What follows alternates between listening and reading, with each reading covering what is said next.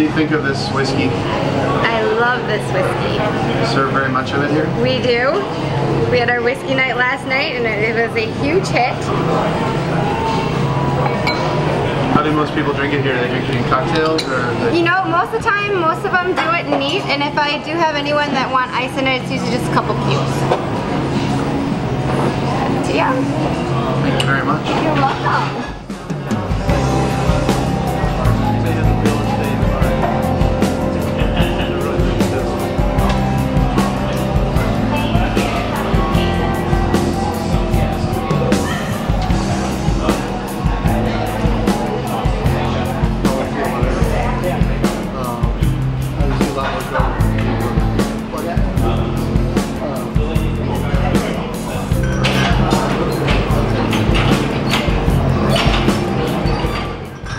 Top shelf.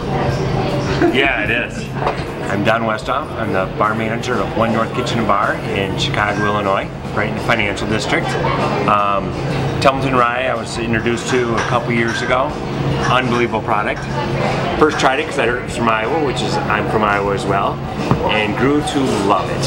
Um, I serve it to all my high-end customers looking for something unique and interesting, and without a doubt, they all come back for more. So it's definitely building a, a great clientele for uh, many people, and uh, we really enjoy that.